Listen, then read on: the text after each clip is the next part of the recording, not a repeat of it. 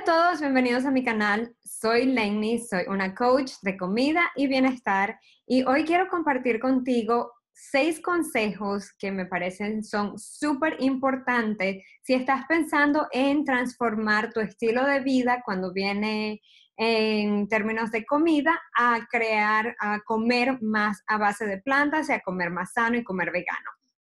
Comenzamos con el consejo número uno por favor, este, te recomiendo que investigues muy bien qué significa comer a base de plantas, qué significa ser vegano, porque esto es importante a ver cómo va a impactar tu estilo de vida. Nosotros tenemos hábitos que creamos, sobre todo rutinas con las comidas y las recetas, y si queremos hacer un cambio muy drástico, lo más seguro es que no vayamos a lograr nuestra meta. Así que te recomiendo que por favor investigues qué significa, asegurar de que estás incluyendo suficientes variedad de comidas y nutrientes cuando vas a hacer esa transición. Lo cual me lleva al consejo número dos.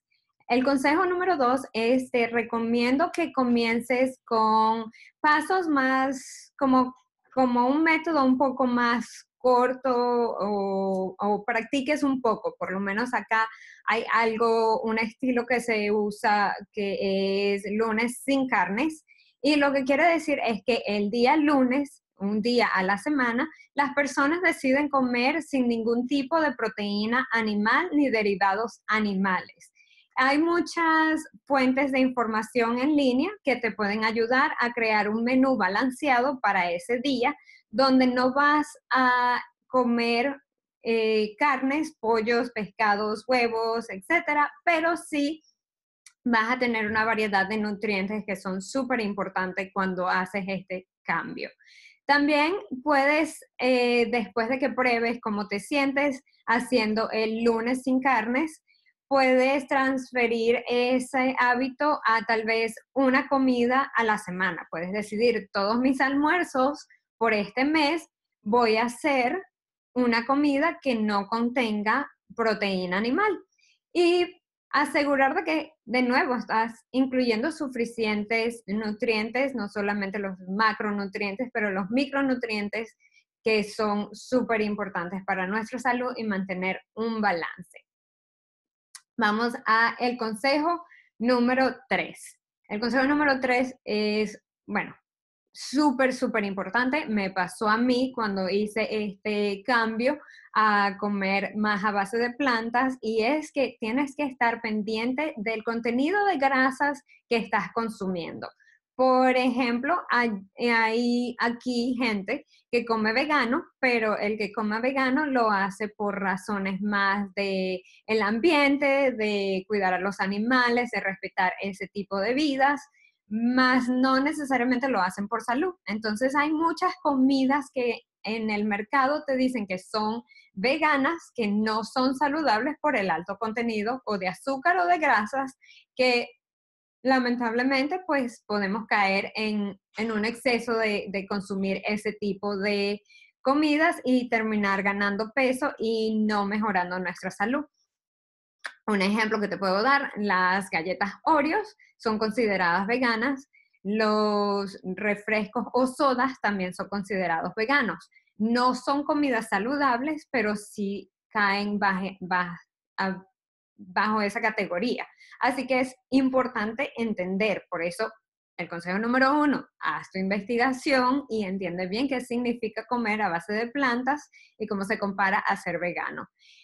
Y con eso, pues, por lo menos mi experiencia, te explico. Cuando yo cambié a comer a base de plantas, incluí bastantes nueces en mi dieta y el, por lo menos el desayuno me comía un pan integral eh, con muy pocos aditivos y químicos, el pan integral lo más sano posible con una crema de almendra que le ponía y unas bananas o cambur, como le decimos en Venezuela. Luego, eh, como meriendas, me, toma, me comía unas nueces eh, de diferentes tipos, almendras, manices, cacahuetes, etc. Y de cena, por lo general, me comía una ensalada donde también le agregaba tal vez unas, unas almendras y aguacate. ¿Qué pasa? Cuando tú agregas o sumas todas las grasas que estaba consumiendo en el día, porque en la mañana, en la tarde y en la noche estaba consumiendo nueces de alguna manera u otra, son grasas sanas, pero cuando consumes en exceso y no las mantienes balanceadas, si eres propenso a alta, alto colesterol, pues te lo puedes subir, que fue lo que me pasó a mí. El colesterol LDL o el colesterol como se conoce malo, me subió más de lo normal y parte de eso, o más, más allá del rango que recomiendan los doctores, y parte de eso fue porque cuando hice el cambio de estilo de comida y de dieta, terminé agregando muchas más grasas de lo que pensé que estaba consumiendo o pensé que mi cuerpo podía manejar. Y de nuevo, genéticamente, eh, así es como mi cuerpo funciona. Por eso te recomiendo que consigas un balance, lo cual me lleva al consejo número cuatro.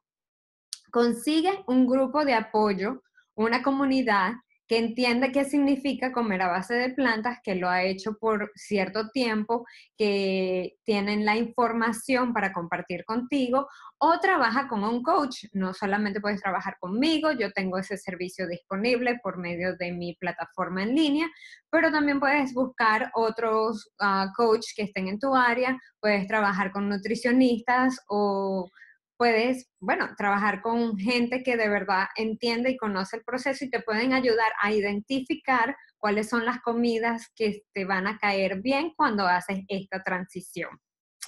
El tip número 5 es súper, súper importante.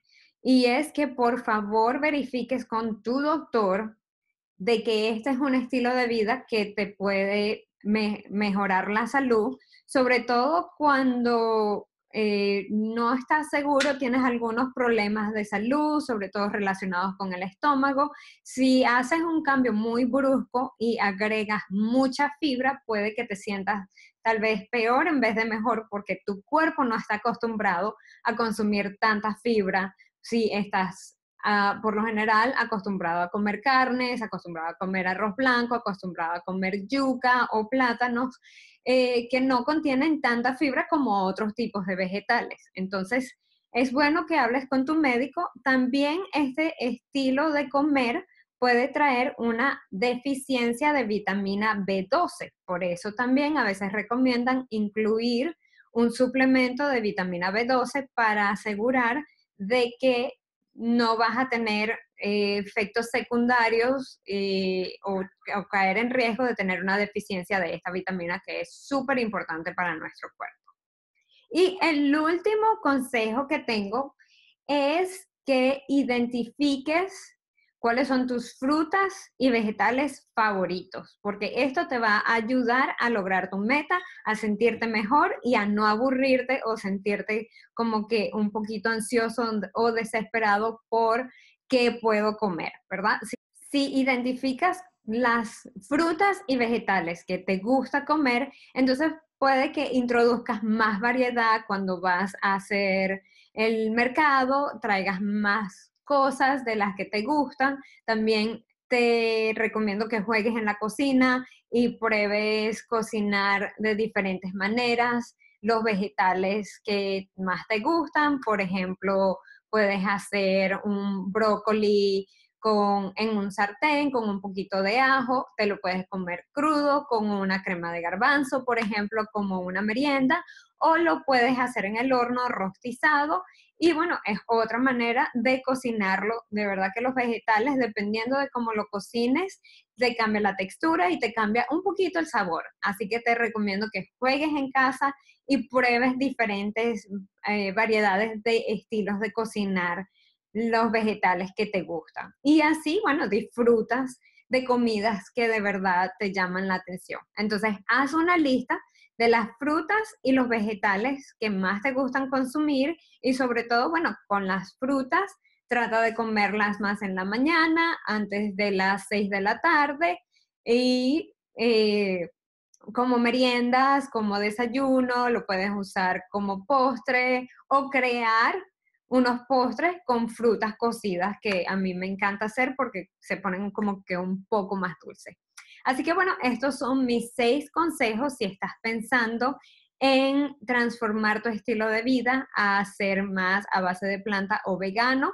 Eh, me parece que es una decisión excelente, pero de nuevo tienes que tomarla con mucha responsabilidad y saber cómo tu cuerpo reacciona a las diferentes comidas y al cambio que estás creando. Así que bueno, si tienes preguntas o comentarios, no olvides de, de dejármelos aquí en la parte de abajo, en los comentarios del video. Y si te parece que estos consejos son buenos, compártelos con tu familia, compártelos con tus amigos. Si sabes de alguien que come vegano o que está pensando en cambiar su estilo de vida a comer más a base de planta, mándales este video, envíaselos y diles, mira lo que conseguí y vamos a ver si conseguimos también una comunidad donde nos den el apoyo que necesitamos para crear este estilo de vida y para mantenernos en línea, como dicen. Bueno, te deseo muchísimos éxitos. No olvides de suscribirte al canal para así recibir mis tips, videos y recetas directo en tu correo electrónico y nos vemos pronto. Un abrazo. Ciao.